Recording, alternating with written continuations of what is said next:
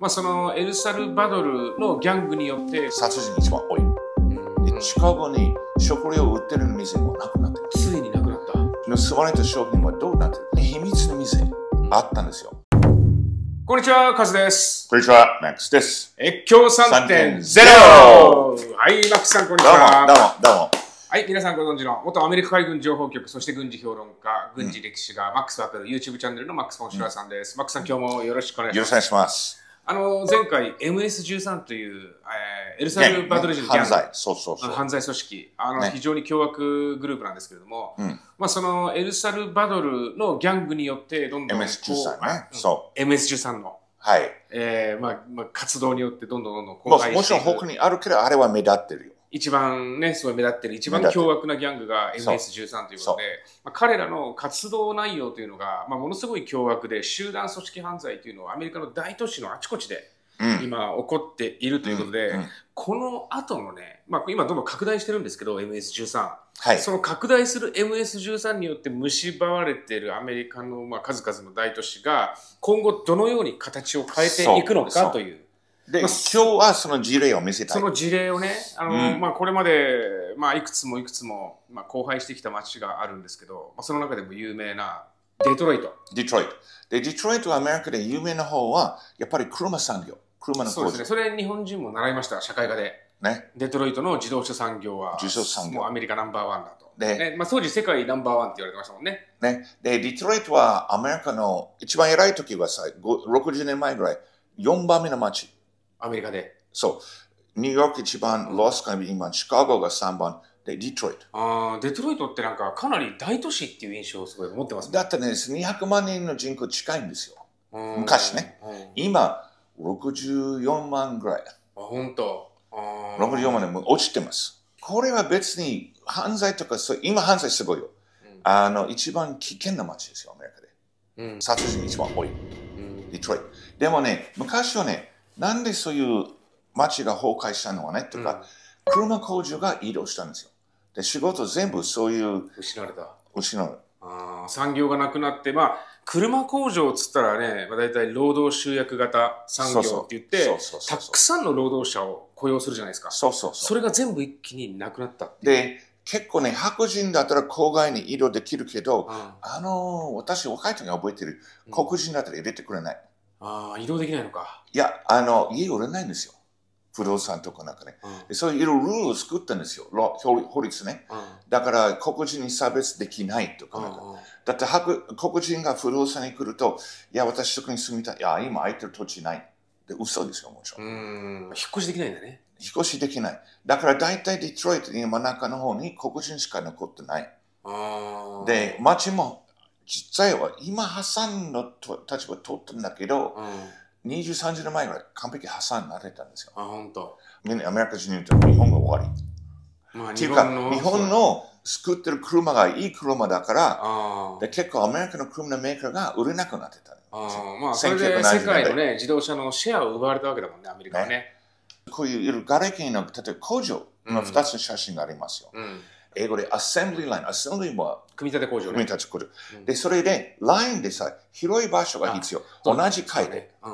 で、それで、こういう難解な建物も使えない。ここに2つの写真がある。そういうの、家、もうそのまま置いてて、で、だんだん本当にもう廃墟になってますよ。で、結構多いんですよ、デトロイトで、そういう建物。うん中心部を一応作り直ししてるのなんか、復活しようとしてるけれど、うんまだまだですよ。本当でやっぱりデトロイトに今住んでるのはやっぱ黒人が多いんですよもちろん警察が数を減らしてるとか消防車とかなんかいろいろね、学校の方も悪くなったり。でも、なぜこれ見せたいの方が、これ結構、あの廃墟してる街ですね。うんうんで、これからニューヨークシティ、シカゴ、うんあの危ないんですよ、それ。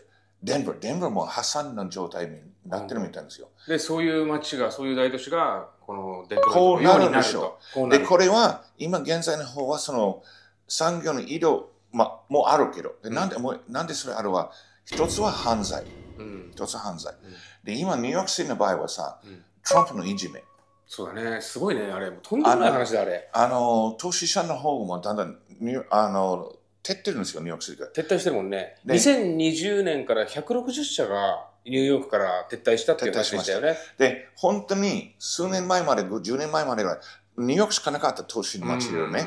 でも今ね、フロリダのマイアミとかなんか、テキサスのオースティン、あと、ラスベガス、ネベラ州ラスベガスも投資できると、だんだんだんだんそういう拡大してるから、それで別のところ行って、それもちろんアメリカだけじゃない、外国人。やっぱり法律で守られてるから、今法律もね、政治的に意味がないんですよ、アメリカで。うんニューヨークの政府が法律を破るもんね。そうそう。これニューヨークの政府がやってる。うん、あの、本当に、うん、愚かなもんですよ。だからやっぱりニューヨークっつったらね、投資とか、まあそういったのがもう世界の中心的な立ち位置でしたけど。で、けど、今、そういう、まあ、今の民主党のブルーステートではなく、共和党のレッドステートの方に移動してるんですよ。あまあ、その中でも特に不動産関係のね。不動産関係とかいろいろね。ああの、トランプがこういうふうにやれると、私もやる。この間の FOX ニュースのインタビューが、まあ、別にトランプさんを支持しているわけではないけど、その彼がその不動産会社を経営してて、まあ、トランプさんのように、もういつでもなんかニューヨーク市内でのビジネス禁止とかね、ねなんかもういつ、もうそういうわけのわかんない。なんか法律破りが行われるシカゴにさ、私も今日もいろいろ YouTube チェックしてると、うん、シカゴに食料を売ってる店もなくなってます。なくなったのまあ、なんかちっちゃいところまだあるはあるみたいけれど、うん、でも結構なくなってるんですよ。略奪。本当いや、あの、お店がね、どんどんなくなってるっていう話はこれまでもしてきたけど、なくなってますついになくなった。で、やっぱりね、食料買うために、結構街の中から郊外の行けないとないんですよ。うん、それがあれでしょ？なんか、まあ、車持ってる人は車に乗って、まあ、20分とか30分で。車がないとやっぱりバス乗る。バスだよね。で、バスで1時間とか1時間半。そうそう、かかるよ。で、それ一本じゃなくて乗り換えとかなんかね。ああ。ね。いや、そん、とんでもないことになってますね。本当に大変ですよ。大変ですよ。だから次起こるのは食料危機なんじゃないの？なるでしょう。食料売ってるお店がなくなっちゃったってなったら。あ、最近もね、日本でこの会社してる、あの、英語でシリオっていうのよく朝食べるボウルにそういうものをかけて、コーンフレーク、あ、コーンフレークみたいな感じ。ケロッグ。ケロッグ。そう、ケロッグ。ケロッグの社長が、あの、経済的に困ってる家族だったら、夜でもシリオ食べなさいってかなんか言ってるんですよ。あ、本当。金がないと肉とかなんか魚買えないんだったら、このシリオ食べなさいとか、え、ちょっと待ってよ。